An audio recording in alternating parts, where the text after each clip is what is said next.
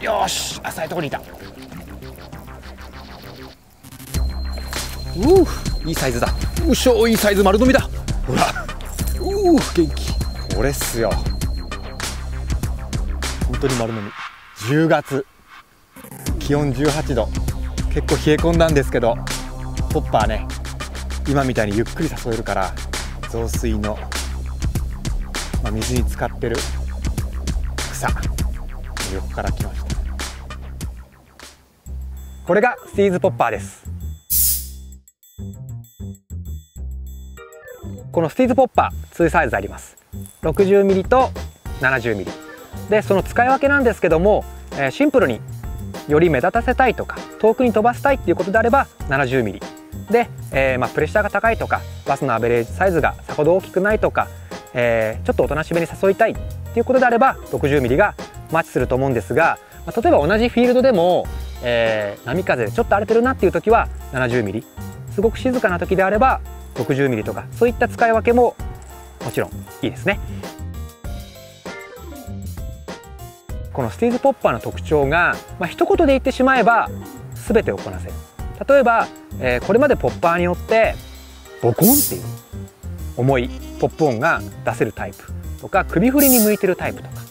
スプラッシュをよく飛ばしてくれるタイプとかあったんですけどもスティーズポッパーはアングラー側の操作次第でそのどれもこなしてくれると。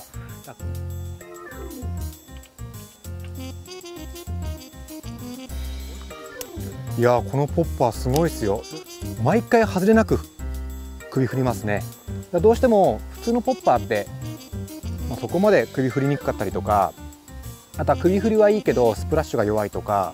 あとはボコンっていう重い音が出にくいとかやっぱりタイプって分かれちゃうんですけどスティーズポッパーはどれもいい。特にね 70mm なんて首振り。もう前と一致外しなくいい首振りをしてくれますし 60mm サイズもこの小型サイズでありながらちょっとねワンテンポ置いてポンとボコン。すごいそのいい泡をまとった深い音を出してくれるんで、えー、移動距離を抑えて誘いたい時とかちょっと深いところ濁ったところからバスを浮かせたいという時にはその操作が有効ですしスプラッシュはね、えーまあ、ちょっと言葉で言うと説明しにくいんですが水面の水を削り取るイメージでトゥイッチしてくるとシュパッシュパッシュパッとね飛ばしてくれたりと、まあ、その辺の使い分けも慣れてくると自由自在に、えー、なってくるので面白いポッパーかなと思います、まあ、ポッパーってそんなにね、えー、今使ってる人って少ないんですけども、えー、非常にトップウォーターの中でも、えーまあ、移動距離を抑えて多彩に誘えるっていうところで、えー、バイトの多いルアーですのでぜひ活用してほしいなと思います。来た。来た。見えた。よいしょ食った。見えましたね。これがトップは面白い。いいコンディションスピーズポッパー。